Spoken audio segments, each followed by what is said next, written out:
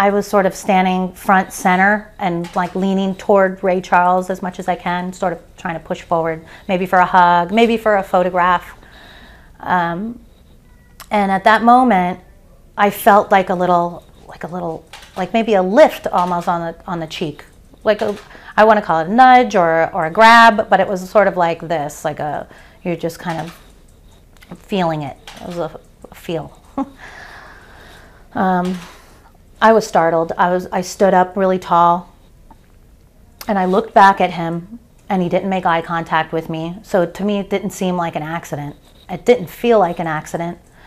When I heard Anderson Cooper on Sunday night pose the question to Donald, did you in fact ever grope a woman? He blatantly says no. I jumped off of my couch. My whole family is watching. My daughter is there. My father is there. And I said, That's a lie. And I wanted to rip this microphone out of his hand, tell the man to sit down.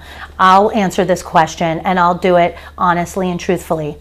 And my daughter puts her hand on my shoulder and she goes, Mom, this is a big deal. This is a serious ordeal right now. Do you know what this man has done?